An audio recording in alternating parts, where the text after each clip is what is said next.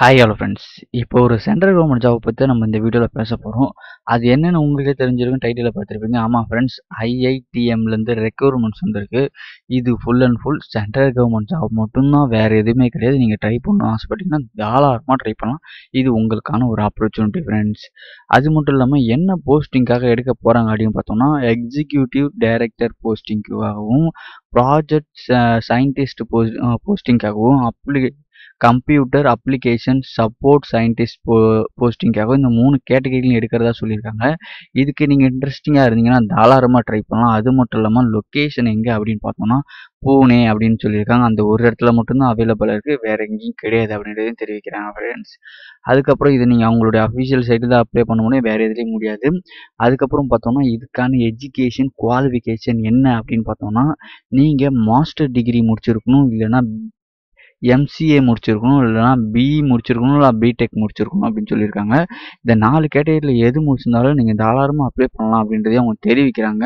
அதுக்கப்புறம் என்ன அப்படின்னு பார்த்தோம்னா இங்கே ஏஜ் லிமிட்டு அவங்க என்ன சொல்கிறாங்கன்னா மினிமம் ஏஜ் குறைஞ்சபட்சமாக நீங்கள் பதி இருபத்தி எட்டை ரீச் பண்ணியிருக்கணும்னு சொல்லியிருக்காங்க.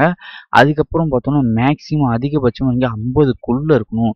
ஐம்பதுக்கு மேலே இருந்தால் நீங்கள் அப்ளை பண்ண எலிஜிபிளே கிடையாது அப்படின்றதையும் சொல்லியிருக்காங்க. அதுக்கப்புறம் பார்த்தோன்னா உங்களுக்கான பேக்கேஜ் என்னென்னா ஐம்பத்தி ஆறாயிரத்துலேருந்து ஒரு லட்சத்தி முப்பத்தோராயிரம் வரைக்கும் உங்களுக்கான சேலரி பேக்கேஜ் ஃபிக்ஸ் பண்ணியிருக்காங்க. அது உங்கள் போஸ்டிங்க்கு ஏற்ற மாதிரி மாறும். அதனால் ஒரு பெஸ்ட்டு சேலரியை கன்ஃபார்ம் கிடைக்கும். நீங்கள் அதை பற்றி கவலையே பட வேணாம் ஃப்ரெண்ட்ஸ் இது எப்படி செலக்ட் ஆகணும் மட்டும் பாருங்கள் இங்கே செலெக்ஷன் ப்ராசஸ் அப்படின்னு பார்த்தோம்னா ஒரு ரெண்டு விதமான ப்ராசஸாக இருக்குது என்னென்ன அப்படின்னு பார்த்தோம்னா ஒன்று ரிட்டன் எக்ஸாம் இன்னொன்று பர்சனல் இன்டர்வியூ இந்த ரெண்டு ப்ராசஸும் நீங்கள் கம்பல்சரி அட்டன் பண்ணி கிளியர் பண்ணி ஆகணும். கிளியர் பண்ணால் மட்டுமே உங்களுக்கான அப்பாயின்மெண்ட் ஆர்டர் கிடைக்கும் அப்படின்னு சொல்லியிருக்காங்க.